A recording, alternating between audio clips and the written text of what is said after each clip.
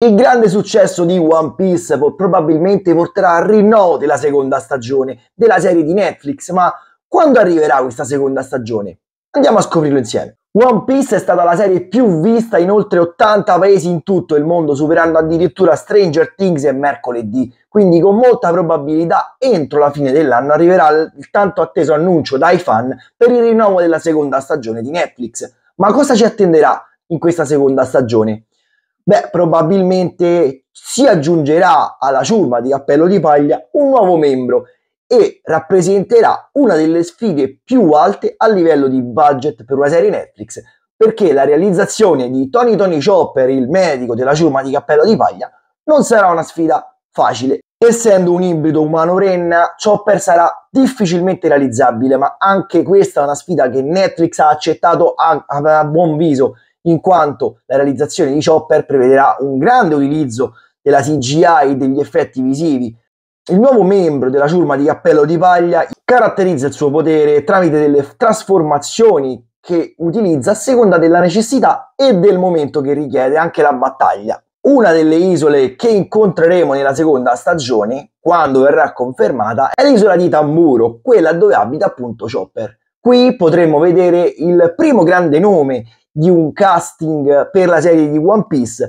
ovvero Jamie Lee Curtis nei panni della dottoressa Corea. La Curtis è una grandissima fan del prodotto scritto e da Oda e quindi ha, ha espresso direttamente la sua voglia di partecipare alla serie proprio nei panni di Corea, che vedremo appunto nella seconda stagione in quanto molto importante per l'arco narrativo di Chopper. Oltre all'isola di Tamburo arriverà probabilmente l'isola di Rocktown ed è la prima isola che dovremmo incontrare nella seconda stagione, in quanto vista la scena post credit della prima stagione che vedeva Smoker bruciare il manifesto da ricercato di Luffy, qui arriveremo con i membri della ciurma di Cappello di Paglia proprio a Logtown o Rocktown, come preferite, Qui incontreremo il villain che molto probabilmente sarà Smoker e approderanno i membri della ciurma di Cappello di Paglia nell'isola dove Goldie Roger è stato giustiziato e che abbiamo intravisto all'inizio della prima puntata. Molto probabilmente il grande villain della prossima stagione sarà Crocodile, un Crocodile che è stato accennato in alcuni discorsi durante la prima stagione in quanto leader delle Baroque Wars e probabilmente l'arco narrativo si sposterà direttamente dalla basta. Qui avremo appunto un altro membro della ciurma di Cappello di Paglia che dovrebbe apparire nella seconda stagione, ovvero Nico Robin. Stesso discorso vale per un altro personaggio molto importante e membro indiretto della ciurma di Cappello di Paglia che comunque importante per la trama di Alabasta, ovvero Vivi. Molti si stanno già preoccupando per la realizzazione della seconda stagione in quanto il potere di Crocodile prevede la manipolazione della sabbia, ma abbiamo già un esempio di quanto Netflix sia riuscita a realizzare questo potere in Sandman dove il protagonista manipolava la sabbia dei sogni, quindi questo potrebbe essere già un buon inizio per rappresentare Crocodile in live action.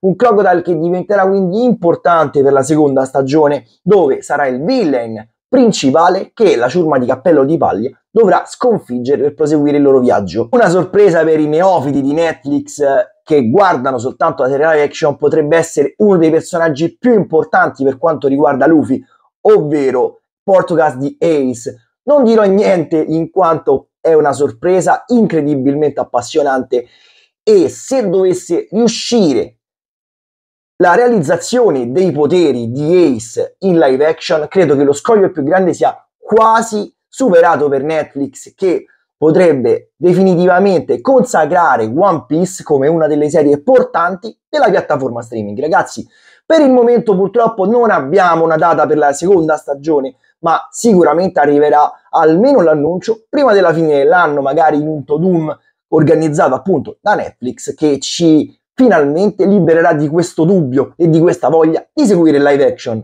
Io vi ringrazio per avermi seguito fin qui, io vi ricordo di iscrivervi al canale e seguirci per tutte le altre informazioni che riguardano serie tv e film. Quindi grazie a tutti da Valerio Perrone e da Ciacchiazioni.